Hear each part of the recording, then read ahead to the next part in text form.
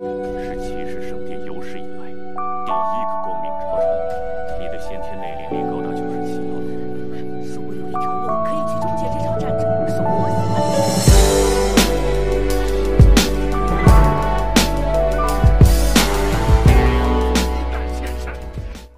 Sebelum berpisah, Cheng Yu memberikan Chen sebuah benda langka, yakni tungku roh suci. Meski terlihat seperti biasa-biasa saja, namun tongko ini memiliki kelebihan yang tidak dimiliki oleh benda lain. Benda ini memiliki nilai yang cukup fantastis. Di dunia persilatan, semua orang pastinya menginginkan benda tersebut, coy.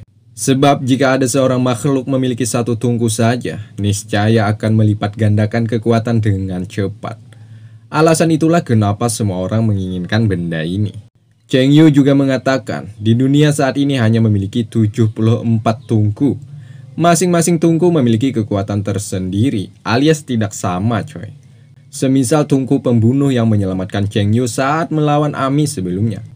Ialah tungku roh seribu serangan, yang di mana memiliki keunggulan dalam segi penyerangan dan juga menghancurkan lawan di hadapannya.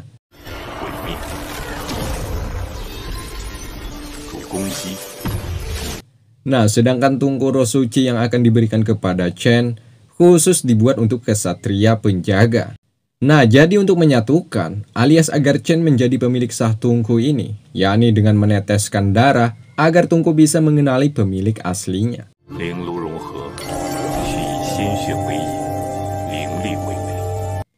Setelah selesai, kini giliran Cheng Yu memasukkan tungku tersebut ke dalam diri Chen. Dan mari kita katakan bersama-sama, sehingga terjadilah.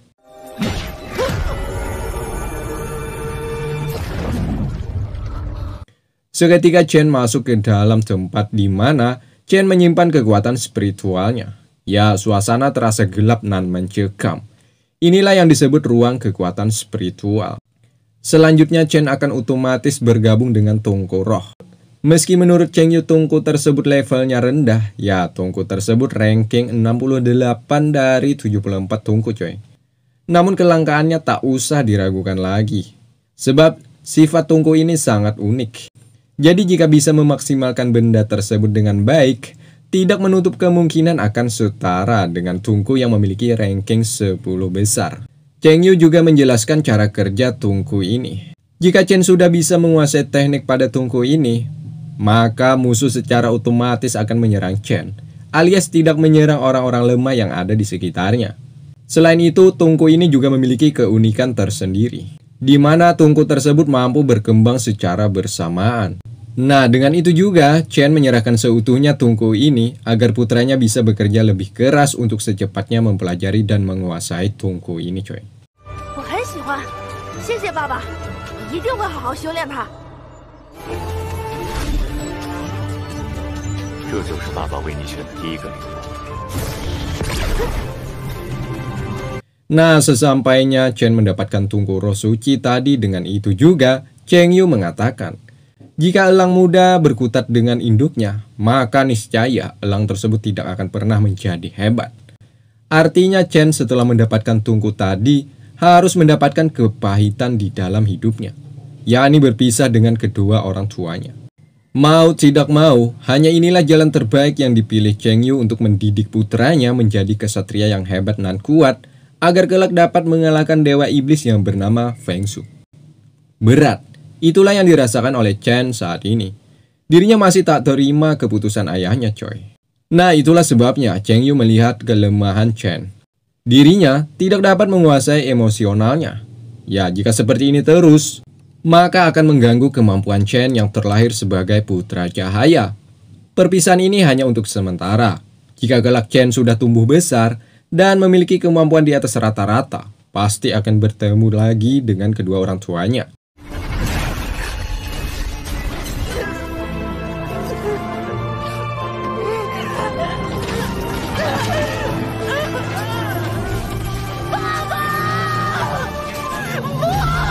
我不想你们走。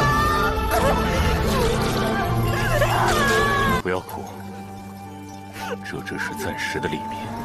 你妈妈都要走，那为什么不能带上我？ Ya, terlihat Chen masih tak sadarkan diri. Dirinya terbaring di pangkuan ibunya. Di sini Yue juga sedih sepertinya Yue tak ingin meninggalkan putranya seorang diri. Sebab selama ini Chen selalu ada untuk Yue, alias tidak pernah meninggalkannya. Yang mana rencananya malah Yue akan pergi meninggalkan putranya. Sekali lagi Cheng Yu meyakinkan kepada istrinya, Chen memiliki takdirnya sendiri. Chen harus menjadi pemuda yang kuat. Jika Yue tetap keras tinggal di sini, maka itu akan menjadi malapetaka bagi putranya sendiri. Ya, jika Yue bersama Chen, pasti akan menjadi titik lemah untuk kesempurnaan bela diri Chen. Dengan itu juga, air mata Yue jatuh ke pipi Chen. Dan seketika mereka berdua berada di alam berbeza bertemu. Chen langsung mendekap erat tubuh Yue sembari mengatakan bahwa ia tak ingin berpisah dengan ibu juga ayah. Yue pun mencoba untuk kuat lalu mengatakan dengan janji yang pernah mereka lakukan berdua. Yani Chen pernah berjanji akan menjadi kesatria kuat untuk melindungi ibunya juga umat manusia yang ada di dunia ini. Dengan itu juga, akhir Chen melihat senyuman ibunya. Diiringi dengan ingatan semasa berada di tepi gunung kota Udin.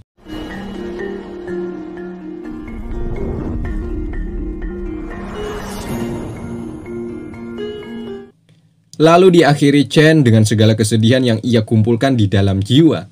Kemudian ia hempaskan sehingga hancurlah rantai yang membelenggunya tersebut.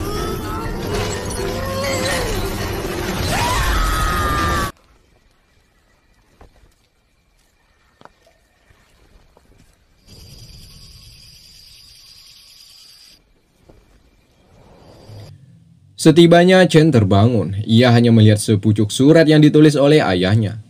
Isi surat sebagai berikut. Hao Chen, jika kamu melihat surat ini, aku Cheng Yu dan ibumu sudah pergi. Kamu saat ini sudah tumbuh besar dan sebentar lagi akan menjadi pria dewasa. Ayah berharap kamu kuat untuk menghadapinya. Mulai saat ini, kamu hanya bisa mengandalkan diri sendiri. Dan aku juga memberikan sebuah buku di dalam tungku roh. Ya, ayah tak bisa mengajari lagi. Maka dengan itu kamu harus belajar mandiri di dalam tubuhmu sudah bergabung dengan tungku roh coy. Jadi untuk sementara waktu, kekuatan spiritual akan berkurang. Itulah hal yang tak terhindari setelah penggabungan. Namun selama berlatih keras, kekuatan spiritualmu akan meningkat lebih cepat dari sebelumnya. Hal itu dikarenakan kamu termasuk yang memilih kekuatan kesatria ganda. Ayah juga meninggalkan cincin, di mana di dalam cincin tersebut terdapat keterampilan warisan. Chen, kamu ayah sarankan untuk kembali ke kuil bulan untuk mempelajari keterampilan kesatria penjaga secara sempurna. Dan satu, ayah sangat berharap Chen kelak bisa berlatih kepada seorang yang bernama Yehua. Sebab Yehua adalah kesatria penjaga terbaik di dunia saat ini. Di sini Yu juga berpesan coy, jika tak penting-penting amat, Chen tidak perlu mengungkapkan identitas aslinya sebagai kesatria retribusi, apalagi sebagai putra cahaya. Ya, itu semua demi kebaikan Chen kelak. Dan terakhir, cincin yang diberikan oleh ayahnya tadi adalah sebuah cincin langka yang dapat menyimpan juga melindungi sang pemilik. Untuk selebihnya, Chen suatu saat akan mengetahuinya. Ya, Chen tidak boleh mencari apalagi bertemu kedua orang tuanya sebelum menjadi kesatria kuil suci tingkat 7, lalu mendapatkan armor Miss Trill.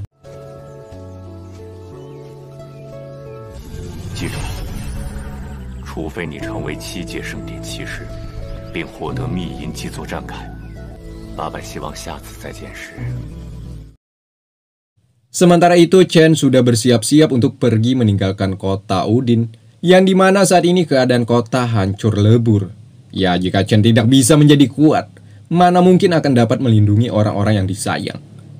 Nah, dengan itu juga Chen melangkah maju menuju ke kuil bulan.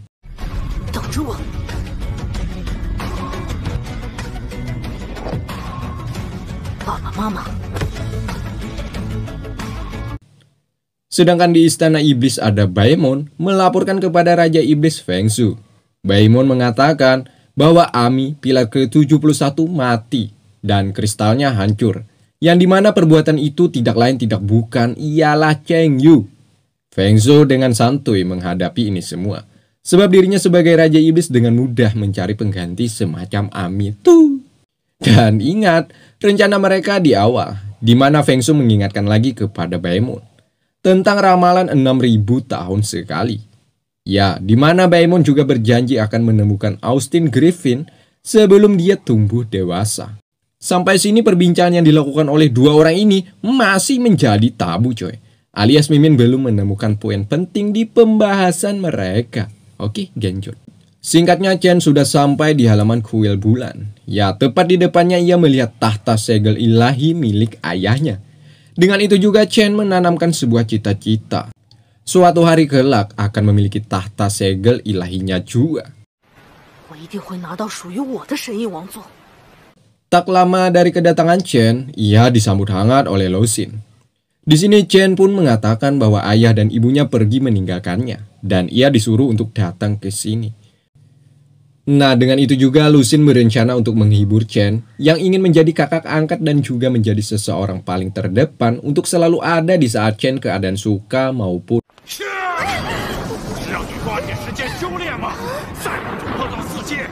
Baru beberapa langkah mereka berjalan, terdengar gema suara Nalan menyuruh Lusin untuk berlatih lebih keras lagi agar secepatnya berada di level 4. Lantas saja Lusin berpamitan pergi kepada Chen untuk berlatih kembali.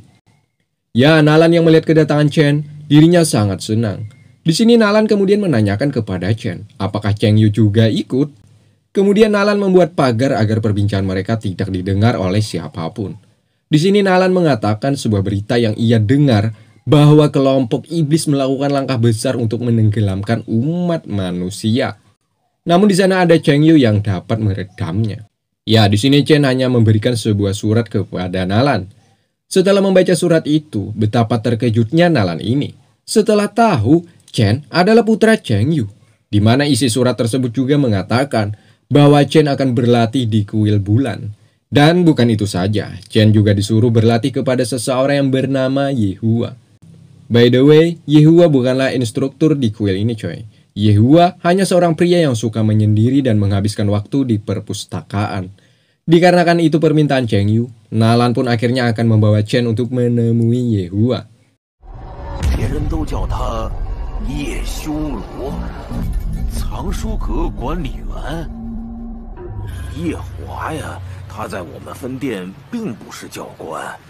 Sesampainya Nalan meneriaki Yehua yang kala itu sedang sibuk-sibuknya menulis dan membaca.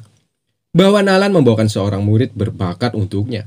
Dengan arogan, Yehua menjawab bahwa dirinya tidak menerima seorang murid.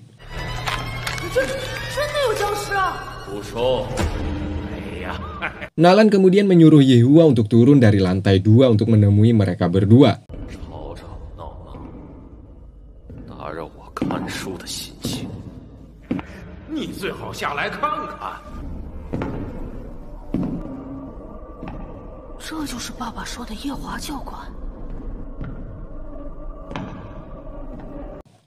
Ya, perbuatan Nalan tadi membuat Yehua kesal.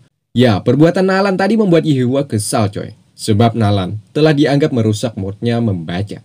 Kala itu, Chen juga merasakan aura penindasan yang kuat pada diri Yehua ini, coy.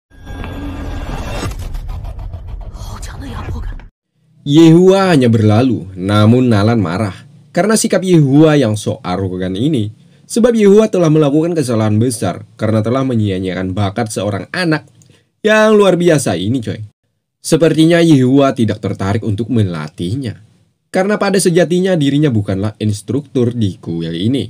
Meski Chen memperlihatkan bakatnya dengan memperlihatkan poin spiritualnya, tetap Yehua tidak tertarik sedikit pun untuk menjadikan Chen sebagai muridnya. Sebab Yehua memiliki masa lalu yang buruk coy. By the way, Yehua ini dulunya juga anak yang berbakat, namun dirinya pernah dicampakkan. Apakah ia akan membalas dendam dengan cara mengecampakkan kepada Chen? Hmm, entahlah. Berkaca pada masa lalunya, Yehua pun mengakui bahwa Chen pemuda sangat berbakat.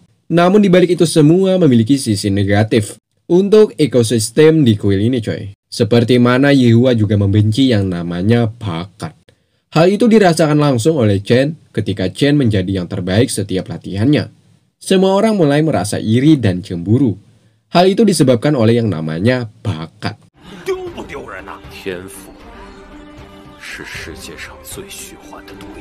Lusin yang terbilang murid cantik, dirinya menyukai Chen ketimbang teman lamanya. Ya, itu disebabkan bakat. Karena bakat, orang-orang menjauhinya, dikarenakan Chen dianggap selangkah lebih maju. Karena bakat, semua orang berniat ingin menjatuhkan Chen agar mereka tidak tersaingi lagi. Artinya bakat bisa saja membuat seseorang menjadi kesepian jika tidak bisa menggunakan pada tempatnya coy.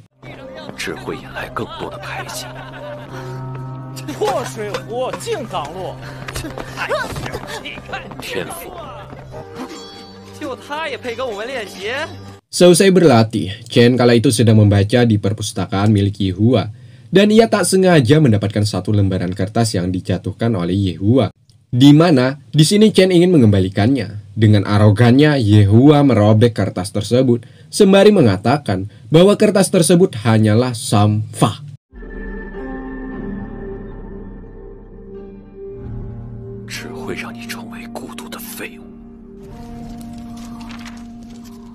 Tepat malam hari, Nalan memohon kepada Yehua untuk sekali ini saja mencoba kemampuan Chen dengan catatan, jika Chen tidak sesuai, maka mereka berjanji untuk tidak mengganggu Yehua lagi.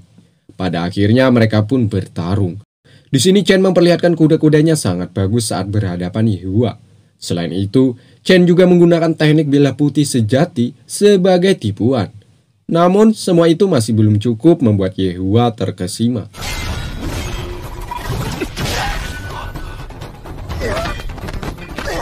Di mana Chen sudah jatuh dan dianggap tidak sesuai kriterianya coy.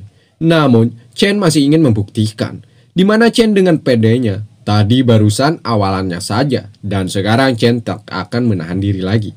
Ya, di mana di sini Chen menggunakan seluruh kekuatan spiritualnya untuk digerakkan ini. Chen menggunakan teknik pedang penebas cahaya dan pertahanan ilahi. Namun, masih tetap Chen tidak ada apa-apanya bagi Hua.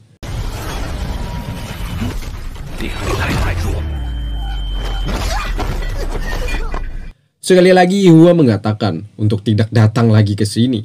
Andai saja Chen adalah musuhnya, maka Yihua akan menghabisi tanpa ampun. Namun ada positifnya juga coy. Yihua sedikit banyaknya mengatakan cara bertarung yang benar. Di mana jika berhadapan lawan yang lebih kuat, hal yang paling utama ialah ketenangan dan gunakan keunggulan untuk membalikan pertempuran.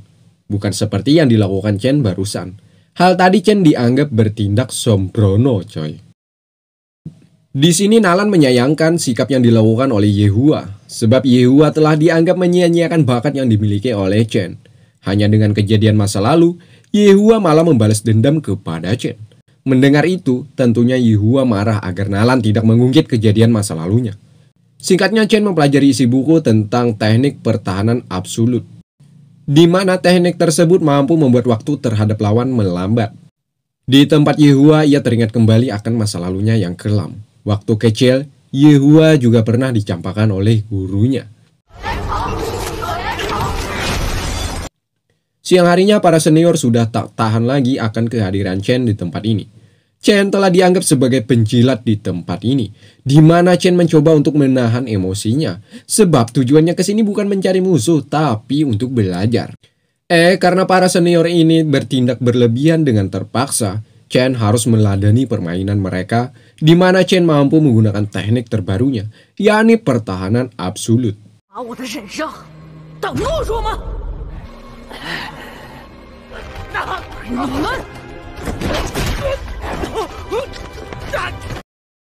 di mana perbuatan Chen tersebut disaksikan langsung oleh Yehua. Ya, Yehua sedikit kagum dengan kemampuan yang dimiliki oleh Chen, di mana di umur yang sangat muda sudah bisa menguasai teknik pertahanan absolut.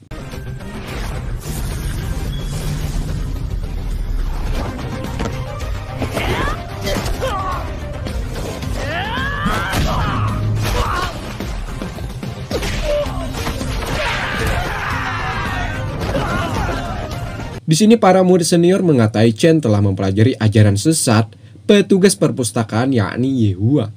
Ya, Chen yang mendengar itu sangatlah marah. Chen pun mengancam jika mereka berani sekali lagi menghina Yehua, maka jangan salahkan Chen lagi jika suatu hari bertindak melebihi batasnya. Yehua yang mendengar ucapan Chen seperti itu seperti dejavu. Ya, perkataan itu pernah dilontarkan oleh Yehua kepada teman seperguruannya, yang di mana temannya juga menghina sang guru. Seketika Yehua kerasukan ingatan masa lalu. Di sini Yehua malah marah kepada Chen. Hanya dengan ucapan tadi jangan harap membuat Yehua simpatik kepadanya.